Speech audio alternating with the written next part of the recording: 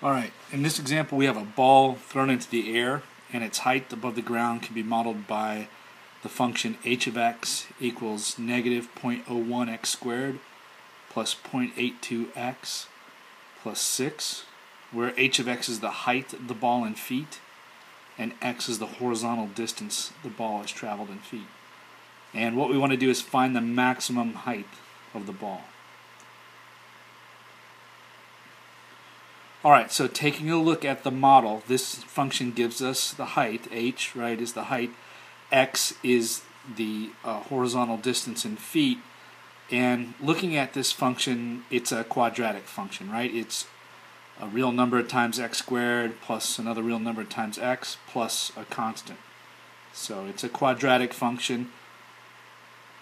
And what we know about the graphs of quadratic functions is that they're parabolas. So a parabola is a U-shaped thing, sort of U-shaped, and they either open up or they open down. So it's either looks a little like this one where it opens up, or the other possibility is that it opens down like this one over here. So how do we figure out which case we're in? Well, what you need to do is to take a look at the number with x squared.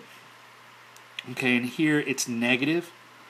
And if you have a negative number with x squared when it's in the standard format, the it's one of the downward opening parabolas. So what we know is that the graph of h of x is going to look something like this picture here. So you may wonder why didn't I graph it over here? Well, normally I would if we were just talking about the parabola, but this is an application problem, and um, over here the x's would be negative, which really don't make sense in this context, right? X is the number is the horizontal feet that the ball has traveled, so that would be zero before you throw it, and then um, once you throw it, it would start accumulating. All right, and so what this problem boils down to is finding the vertex of that parabola. We want um, to where, where the height is the biggest, the biggest possible height, and that's going to be on this point right here, which is called the vertex. So this problem is going to boil down to finding out what the vertex is, right? And then once we have the vertex, which is a coordinate pair, right, we want the y coordinate. That will give us how far up on this axis is the point, which this is the height that it will reach. Okay? All right. So we know we're going to find the vertex of the parabola.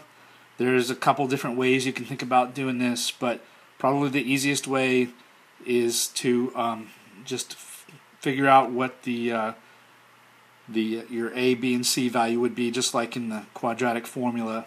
And here a would be uh, the value with x squared minus 0.01. B would be 0.82. And in the quadratic formula, you'd use um, C. You'd figure out C, which we don't really need for this calculation. But if if you do that, then the x coordinate of the vertex is going to be minus B over 2A. Okay. So again, there's uh, a couple of ways that you could come to that. One is by sort of completing the square on the uh, standard form of the quadratic. All right, so for us, we know that um, B is 0.82 and A is negative 0.01. So if we substitute those in into minus B over 2A and do a little simplifying, what we get is um, 41. So that would be 41 feet. So don't forget that uh, that is a value for x, right? That's the x coordinate of the vertex. So one half of it. And that's actually the horizontal distance at which it's going to achieve the max height.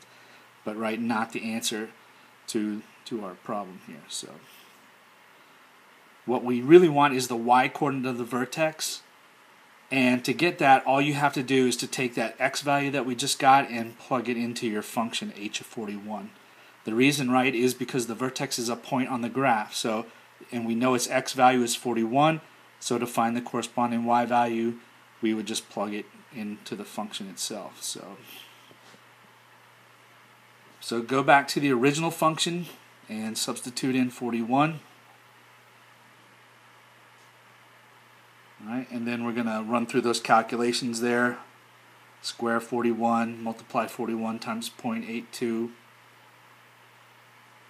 All right, and keep working through that. And when we simplify all that out, we get 22.81 feet. And that actually is the answer that we're looking for there. That's the height that the ball achieved. So, so that's the final answer. But just to kind of illustrate the point here, right, is that uh, we were looking for the vertex. Graphically, we were looking for the vertex. And we found the vertex, right? The coordinate pair would be 41 and 22.81. So what that means, right, is um, if I go straight down to the x-axis there, that'll be at 41, and that would be the horizontal distance in this case um, in which the uh, ball achieved its maximum height. And then if we project over here to the y-axis or h of x axis there, we see that we get that would be 22.81. So that would be the maximum height of the ball in this problem.